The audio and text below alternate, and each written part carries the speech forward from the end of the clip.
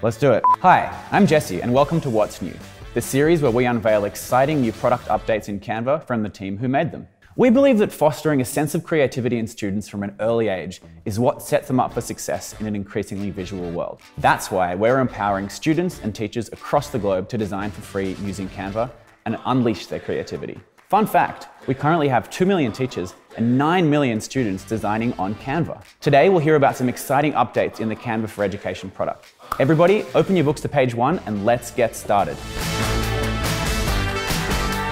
We're now going to hear from Kelsey, who's going to tell us a bit about something I think we can all get really excited about. Yes, we're here to talk about submitting assignments. I know that my favorite part of school certainly wasn't making great friends or playing sport, it was assignments. Of course. So, Kelsey, tell us a bit about the assignment flow in Canva.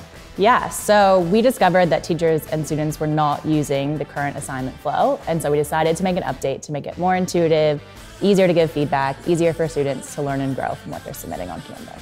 That sounds great. So I remember on the rare occasion that I submitted an assignment in school, I'd get it back with all this red scribbles and stuff all over it. Is that sort of what you're talking about? Yeah, basically the same thing. Not red, not scary, Okay. but Could we check it out maybe? yeah, let's take a look. First, students sign into their Canva for Education account. Students will receive an email and notification of a new assignment. Here, a student has received the new assignment in their email. Students then click Start My Assignment to start working. Once the student finishes their assignment, they can select Send to Teacher. The student then selects the teacher and can type in a message. In the classwork menu, students can see the submitted assignment. When they click on the assignment, they will see the assignment and the message they sent to their teacher. Wow, I didn't realize that submitting assignments could be so exciting. Yeah, it always is with Canva. We're making it easy to submit on Canva and on any learning management system as well. Kelsey, thanks a lot for coming on the show. You get an A plus from me. I think probably a B minus for me. That's fair enough. My next guest is Zach from the partnerships team, and he's here to tell us about two exciting new integrations with Canva. Zach, welcome to the show. Thanks, Jesse. Thanks for having me. So, Zach, tell us what's new in the world of partnerships. We've got two new exciting partnerships today to announce, one with Wizer and one with ThingLink. The Wizer partnership allows teachers to create worksheets from scratch, and the ThingLink partnership allows businesses and students to create educational resources. So, I can totally see where Canva comes in here, but can you tell me maybe a little bit more about the value that this will provide for our education community? Creating these resources can be hard, complicated, and time consuming. The integration allows Canva to come inside of those platforms so that they can go from zero assets to education content ready. So, it's sort of like a Canva button integration, right? Exactly right. Do you mind if we take it for a spin? Yeah, let's have a look. All right. From Wizer, teachers can create a new worksheet and click the Canva button. The Canva editor opens up on the Wizer platform and the teacher can select from 35 carefully curated worksheet templates to begin their design. Once they've chosen a worksheet template, teachers can now edit and customise the worksheet using Canva's content and tools.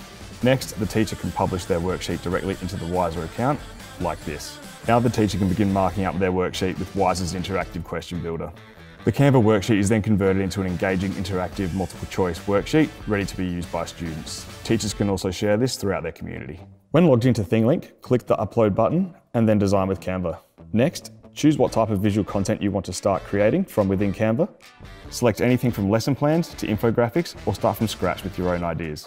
From here, teachers can access Canva's powerful editor from directly within the ThingLink platform. Select a template to start editing. Once happy with the design, click the Save to ThingLink button. Designs are then published from the Canva editor straight into your ThingLink media library. Teachers also have the ability to make changes from their ThingLink designs entirely within their platform without having to navigate from their current workflow. Yeah, right. So, that is a very seamless integration, isn't it? It is. It allows people to stay on both platforms and achieve their design needs all in the same space. Zach, this has been a great partnership. Thanks for coming on the show. Anytime, Jesse. Thanks very much. And that's all from us today at What's New. I'd like to thank Kelsey and Zach for joining us to tell us about their exciting product updates.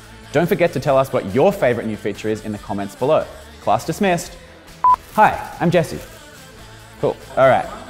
All serious. Pretty serious. Relatively serious. Do I put hands above? Just usually like this.